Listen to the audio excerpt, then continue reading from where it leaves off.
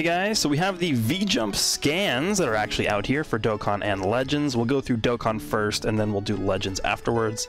Um, so for Dokkan, we pretty much already knew what was coming um, based off of the initial uh, spoiler leaks that were released um, a day ago. But uh, there's three things that they're talking about here. Um, but basically, what we have here is there's part one of this announcement here, which is basically that uh, characters that you're able to recruit from, um, you know, the anniversary will be able to be uh, EZA in uh, Extreme Z area. And I assume all the characters that you're seeing on your screen right here will be able to be Extreme Z uh, awakened.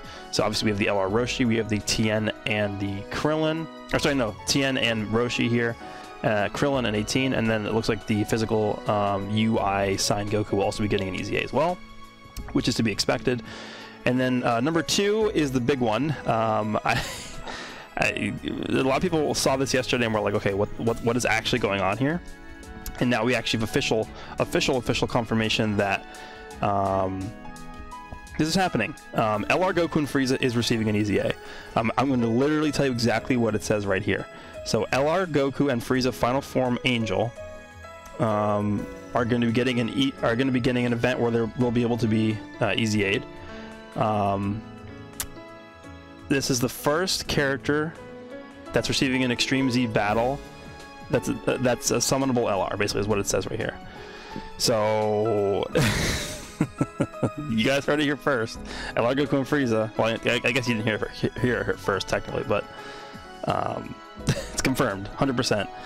Um, and then there's going to be more collab collab missions where you'll be able to get a new wallpaper, you know, Goku and Frieza versus Jiren. Um, so that's pretty much everything we have for Dokkan. So again, Extreme Z uh, Awakenings for all the free units from the anniversary. So LR Roshi, Krillin and 18, Tien and uh, Master Roshi, and then Physical UI Goku. An EZA for Goku and Frieza LR. Um, it doesn't say anything about any banners that are coming out. I assume they're going to have to release a banner alongside uh, Goku and Frieza for them to like feature it on the banner. Um, it also specifically says Extreme Z Battle here, which leads me to believe that this is probably not going to be an Extreme Z area. It's probably going to be a traditional Extreme Z Battle, like EZA event. So that's probably what we're going to see, uh, be seeing for that. And then uh, more co-op missions um, to take down Jiren and get the wallpaper. That's pretty much all there is for Dokkan. Um, again, ridiculousness for LR Goku and Frieza. Um, they didn't really show us anything that's going to be coming for Saiyan Day, which is going to be coming on the 18th of March, which should be the second Dokkan Fest after the end of the anniversary. Because what typically happens with the anniversary in Dokkan is we get the anniversary, and um, then we get a Dokkan Fest on like March 1st or March 2nd, or one of those two days. So we'll get that Dokkan Fest, and then we'll get the following Dokkan Fest to Saiyan Day. Um, Alright, so that's pretty much everything for Dokkan. Moving on to Legends. So we already know about Buuhan. Uh, he was in the data download this week, so uh, he is coming in the form of a Rising Battle. He already is a purple unit. We already know his kit. We already went over that uh, his kit when it came out uh, yesterday. Um, I have a video going over that. He does have the barrier. He has the same exact super attack, the blue card, as the existing green one. So it's, you know, no really new animations to talk about. But he seems like an interesting card. He seems like he's going to be pretty good. And um, that's pretty much all we have for Buuhan there. Now, here is where things get interesting. We have a transforming Demon King Piccolo from old to young. This is the okay. What's funny about this is that this was the character that I asked for the most, that I wanted the most in the survey that just came out. I, in fact, I think the survey is probably still live. You can probably still answer the survey. Like, I, I listed like five characters. This guy was number one. This is the character I want the most. Old Demon King Piccolo who transforms into young Demon King Piccolo. Um, in fact, a year ago, I actually posted this on Twitter earlier. I made a video going over a concept for an old Demon King Piccolo who transforms into young Demon King Piccolo that I, would want to see them add. Obviously, at this point, it's outdated because the game has evolved a lot in a year, but some of the concepts from there I wish they probably could adapt, but I don't know how well they would actually work now. But there's not really too much information they give. Um, he transforms from old to young. Um, and then pretty much the only information we have here is this little fine print over here that's really hard to see. Um, uh, let me see if I can zoom in a little bit. It's really difficult to see, just because the glare is really bad. Um, I think this says after transforming, whenever your enemy switches, you draw cards, and he's a character that's really adept at comboing. It's just really hard to see. Um, and up here, you know what? Let me see if I can pull up pull this up in a different window because I think there was more clear text in a different window here. Um, okay, yeah, actually it is clear on this other window that I'm looking at right now. But basically, uh, yeah, after transforming, when you enter the battlefield, uh, when oh, wait, yeah, when this character is on the battlefield and your enemy switches, you you draw cards. And he's a he's a character that's that's based around comboing for long periods of time.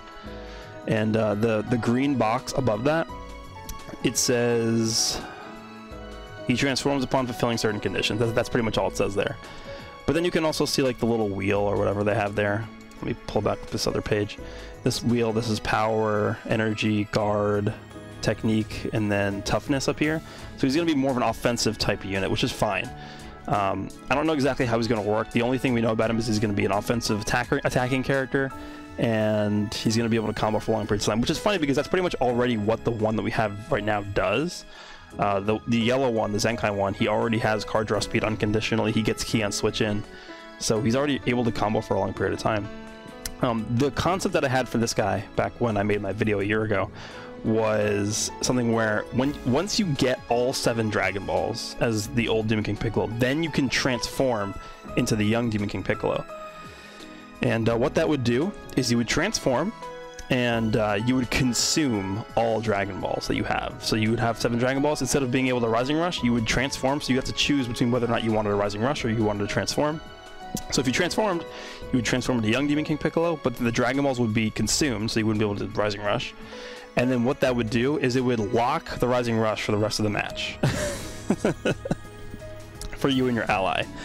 So, because think about what happened in the anime, right? Piccolo, you know, uh, wished to become young again. He transforms into Young Demon King Piccolo, and then he kills Shenron. so, him killing Shenron means that, guess what? You can't use the Dragon Balls anymore. So, my idea is that Piccolo would uh, consume all the Dragon Balls, and then this would be like the most powerful, you know, character in the game or something, because you're giving up a Rising Rush to do this. And uh, then once he does that, he nullifies Rising Rush for the rest of the match, because he kills Shenron. That's like the best way they could reenact, I guess, what happened during the anime. But that's my concept for DKP.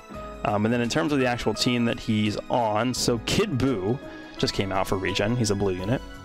So I don't think this team needs any more blue units because we also just got the Zenkai for 21. So blue, a Regen once upon a time really, really lacked a blue unit, but now that they have Kid Buu and 21, they're fine. Yellow, they have two really good Zenkais. Green, they have one good Zenkai.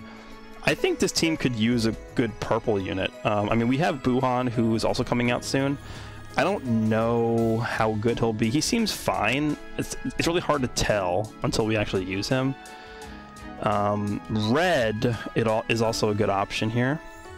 Actually, you know what? I think red is, is probably better than purple. I think if I was going to say what color I'd want him to be, for regen specifically, I'd probably say red. The only really good red unit for this team, I guess, is Cell. Omega is okay. Um, Cell is the go-to red unit for this team, but other than him, there's not really any other, like, pretty good red units. So I guess red or purple is who I would say that they could use the most. And then if you want to go to Dragon Ball Saga, I mean, launch just came out, so I guess not red for this team purple this team really needs really badly. Like they have no. The only purple they have is, Roshi, who's like a day one character. Actually, he's not day one, but he's close to day one. He's uh, very old. Um, so blue could also be decent, but this Kid Goku is actually pretty good, and the Master Roshi's pretty good as well. Honestly, purple probably makes the most sense now that I think about it.